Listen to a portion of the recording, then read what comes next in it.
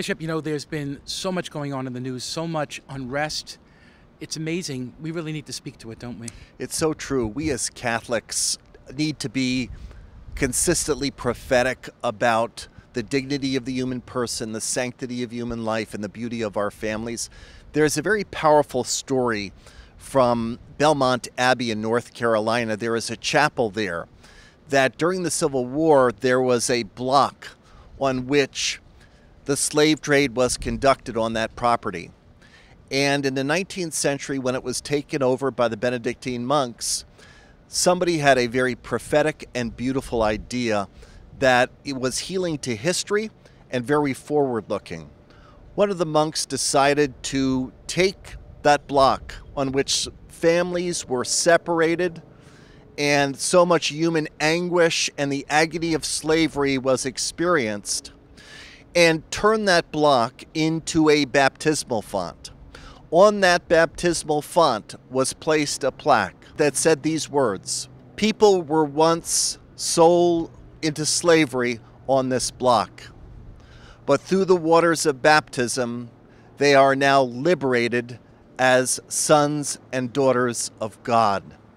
This is such a powerful historical example of the Catholic Church's call to be prophetic in seeing the dignity of the human person and to fight against any form of racism. We as Catholics believe that any form of racism is a heresy against our theology of baptism, where we're all called to be sons and daughters of God.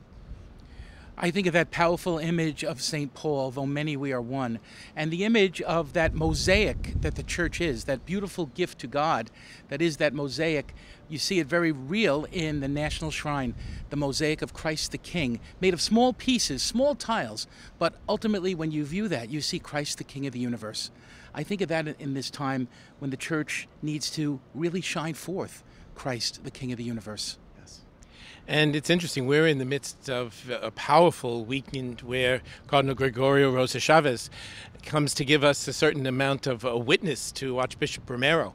And so we remember that um, we're called to be those prophetic voices and to shine the light of Christ's healing love on a world that is torn apart by strife and violence and some and even hatred. And uh, to quote St. John, to overcome evil by doing good. Yes, and this whole sense of the presence being made in the image and likeness of God. The whole history of slavery in our country, the whole history of mistreatment of Native Americans, the whole history now of immigration and mistreatment of immigrants to this country in the present moment. It all ties together, and there's a beautiful consistency and theology and spirituality of communion and mission of our Catholic Church that is so unifying. It's about being the light, as you're saying. It's about being that light that shines forth and allows darkness to be conquered. We've spoken about that before, haven't we? It's true. And you know, you think about how light often kind of exposes the wounds light exposes sort of the, the messiness on the windows and on the walls, but the fact that the light is shi- shines on it to heal it. Not just to kind of dwell on it, but really to heal it. So hopefully we can be powerful instruments of healing as we proclaim the healing of Jesus Christ.